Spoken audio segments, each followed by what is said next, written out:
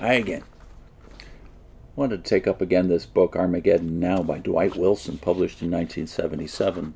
It's a fascinating analysis of the growth of premillennial teaching, specifically from the age of Napoleon unto, well, when the book was published in the 1970s, at which time the book, The Late Great Planet Earth by Hal Lindsey, had made very popular certain teachings that back in the, the day, that is in the early part of the 19th century were limited to a few thousand enthusiasts. But by the time of Hal Lindsey's Late Great Planet Earth, not to mention the Watchtower's books about the date 1975, the idea that the end was upon us and that certain signs, including the invasion of Gog of Magog, were sure indicators that the time could not be far away. So the subhead of this book is the premillennial the pre-millenarian response to Russia and Israel since 1917. And he's setting the stage in, in this chapter that we were reading from before. He's just mentioned that among the early influences were the great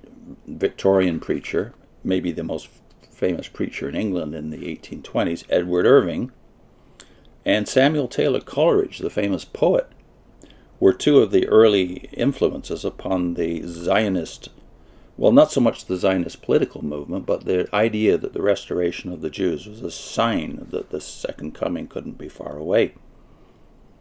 And then the influence of Lord Shaftesbury. So I'll take it up with that short last paragraph where Shaftesbury comes in, because Shaftesbury was, of course, an evangelical Christian, and not to mention the most, maybe the most famous reformer in terms of social reform that England had during the entire 19th century. Lord Shaftesbury Wilson says, was a vigorous promoter of Jewish settlement in Palestine. In his view, such settlement would develop the land between the Mediterranean Sea and the Euphrates River. As a millennialist, he believed that Palestine actually belonged to the Jews and should be returned to them, ideally as Christian converts. Because Jerusalem's first Anglican bishop was Jewish, it appeared to him, that is Shaftesbury, as well as to others, that the restoration had already begun.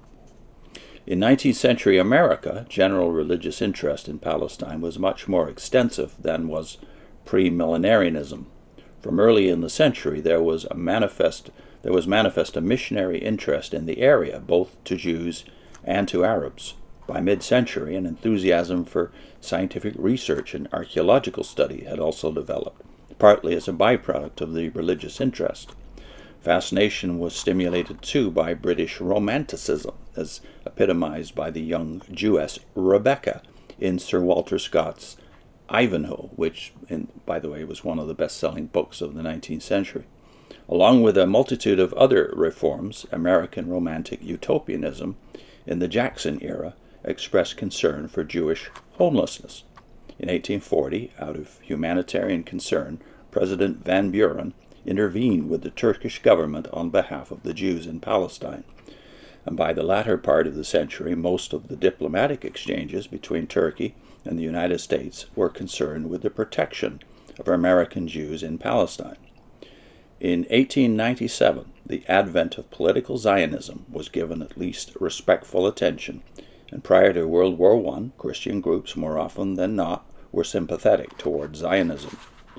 We should probably place in here the, the thought that one of the early successes of Charles Taze Russell was that he was associated with the Zionist movement and even invited to speak at Zionist events in the World War I period. Wilson goes on, this can best be explained as sympathy for the underdog rather than as a captivating concern for Jewish welfare or restoration. Remnants of these extensive 19th century interests still exist today, but compared to the intensive attention of premillenarians, they have been only passing fancies. A variety of millennial groups developed in the United States in the early 19th century. America in the early 19th century was drunk on the millennium, one source says.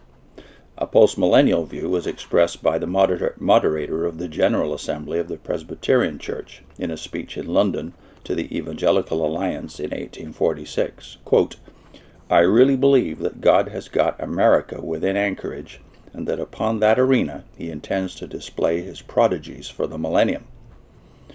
End of quote. The Mormons taught a premillennial eschatology. But although they believed in the restoration of the Jews to Palestine, their primary thrust was the building of their own New Jerusalem.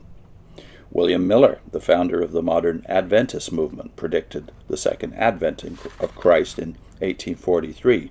His error produced a general disillusionment with premillennial teachings and even made the faithful thereafter a bit shy of date setting. As Ernest Sandeen again has so aptly observed, it took a long time for Americans to forget William Miller. The founder of the utopian Oneida community John Humphrey Noyes, who came to believe that the Second Advent had occurred in AD 70, described the general mood of the era. Noyes said, It is certain that in 1831 the whole Orthodox Church was in a state of ebullition in regard to the millennium. A feeling of expectation on this point lay at the bottom of the triumphant march of revivals which shook the land for several years from that time. The Millerites have since met with unbounded ridicule but it should be remembered that all that portion of the churches who were spiritual, who believed in revivals, and who were zealous and successful in laboring for them, had a fit of expectation as enthusiastic and almost as fanatical as the Millerites. That's the end of the Noyes quote. Wilson goes on In the 1850s, premillennialism recovered from the setback suffered as a result of Miller's errors and accordingly, writers began to risk works on prophetic themes again.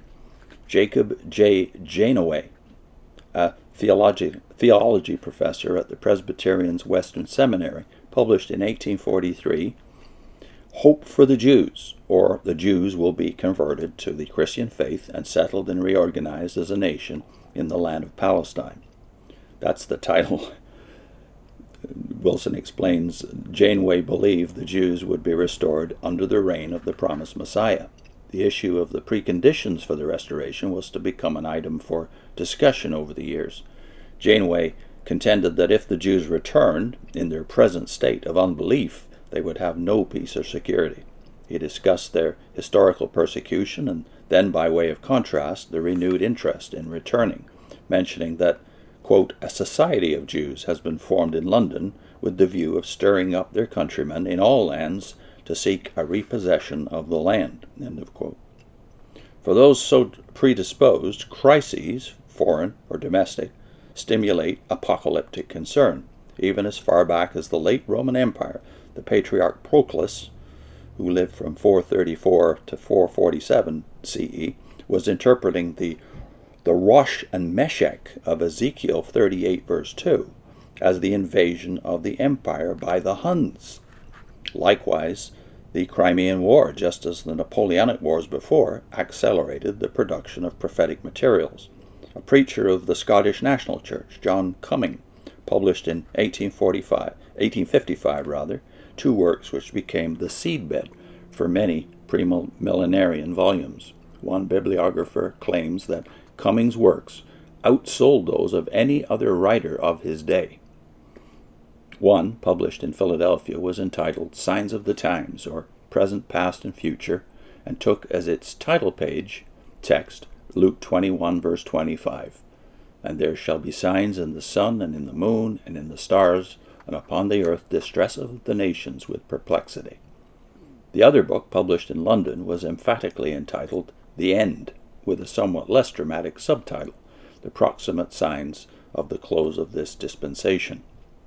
Cumming calculated the year 1864 to be the date of fulfillment of various prophecies. He almost affirmed it would be the end of the world.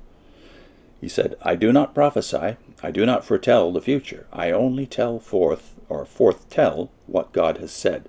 But I do feel that if 1864 be not the close of the age that now is, and the commencement of a better one, it will be a time unprecedented since the beginning, a portentous, startling, and terrible to the enemies of God, but glorious, holy, and full of joyous scenes to the people of God.